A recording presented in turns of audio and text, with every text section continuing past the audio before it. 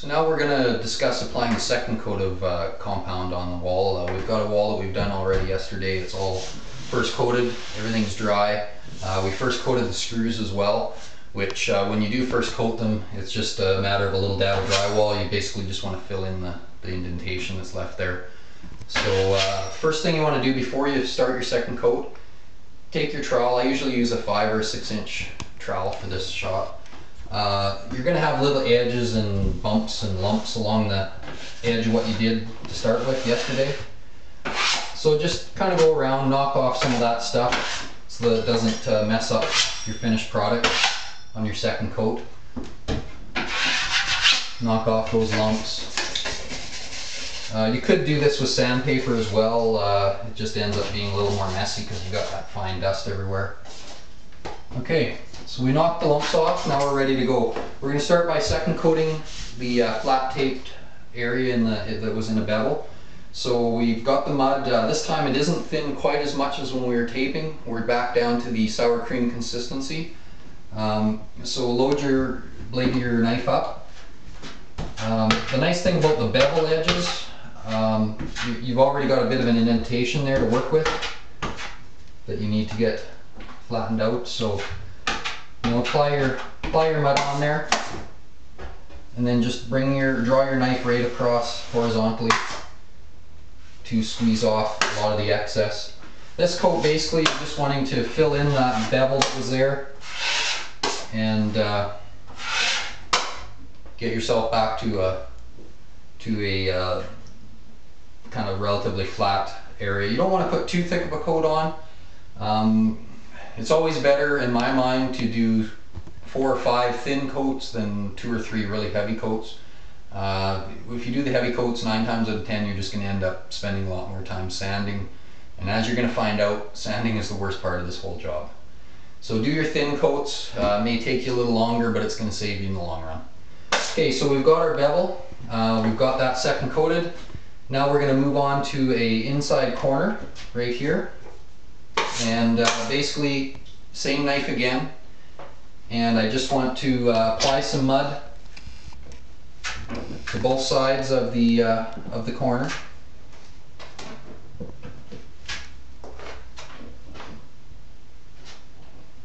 And I'm, being fairly liberal here um, but I will be taking most of it off most of it off with the uh, corner trowel.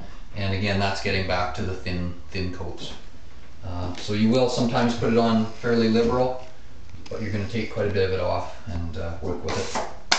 So we've got both sides with the compound applied. Now I'm going to switch to the inside corner trowel. And you just want to uh, basically press this into the corner and draw it down up whichever direction you're, you're more comfortable using it. Press it into the corner. The top point uh, with more pressure than the bottom, otherwise you're just going to plow the mud. You want to more or less smooth it out than plow it. Okay, so I made one run. I've got lots of excess on my trowel. I want to clean that off. Uh, you're probably going to make three, four, five swipes here just to try to get it thinned down, fairly smooth. Uh, you may end up with a bit of a ridge out here on the edges. Uh, that you can get rid of uh, before you do your next coat, again just by knocking it off. Uh, so we're pretty good there. I'm just going to give it one more. Just like that. Always clean your, your tools off so it doesn't dry on the tool, which will just cause you lumps in, as you go. Um, okay, so there's inside corner. Okay, so we've got our, uh, our bevel joint done and our inside corner. Uh, we're going to go to an outside corner now for second coat. So we've got our outside corner here. We've already taken the trowel and knocked off the excess little lumps and bumps that are dried on there. Uh, again, simply uh, apply some compound to each side. I'm using the, the six inch uh, knife again. And uh, I'm just applying some mud. Like so, you know, kind of bringing it out, I don't know, about three inches or something like that. Uh, in this case, we're working up against the doorway, so it's you, know, you can only go so far. But now, again, I'm putting my knife at about 30 degrees as compared to the wall, and I'm just drawing it down, applying some some pressure on the outside edge and right on this corner. And uh, thickness of the mud will be whatever the difference is in between. So there's one side. And you can see, you can still see some of the, the uh, paper on the corner through there. Don't worry, this is only second coat. That's going to disappear on your third or fourth, fourth coat. So again, same thing, other side. Apply your mud. About three, three inches away from the corner. Draw your knife down. Just like so. Don't get too fussy on this, just try to keep it relatively smooth so there isn't a whole bunch of indentations and, and uh, marks like that because it'll just magnify with each, each coat. So try to move uh, slowly but uh, swiftly along there to, to keep it everything moving easily. Um, now, if you're second coating a, a butt joint, which is uh, the ends of the sheets usually, they don't have a bevel built into them. So with the butt joint, uh, you're, you're mudding two exact same thickness pieces there. They're, they're at the same level as the wall. Once you get to second and third coats, you're, you're gonna have to basically build that up just slightly. And then as you coat, you're gonna feather it out, just like we will here on our, on our next coat. We're gonna feather out a little wider and a little wider again. Uh, same thing on the butt joint. You're just trying to feather it out so it's not noticeable, but yet building it up at the same time. Now to second coat our screws, I'm again just using my six inch. Put a little bit on there like that, wipe the excess off on your trowel, give it a wipe. Done. Okay, now we're gonna, I'm gonna show you applying the third coat to this uh, bevel joint here. Uh, same principle as before. Take your knife, just run it along your edges and that to get rid of any little any little lumps that might have been left behind last time. And like I said before, you can use sander if you want to, but uh, the knife works nice. Um, again, sour cream consistent mud. I'm using my six inch blade. And the idea between each, uh, for every coat is you want to get just a little wider every time. So you're slowly tapering out that, that joint. So I'm going to apply it with this six inch knife. And then I'm going to use a 12 inch, you could use a 10 inch, whatever you whatever you have for your next step to kind of flatten this out.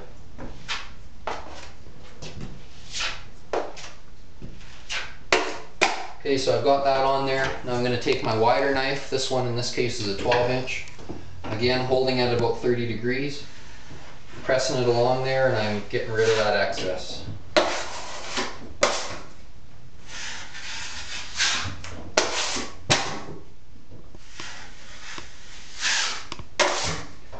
Now you can see that uh, as it pushed out to the side, it left a bit of an edge there.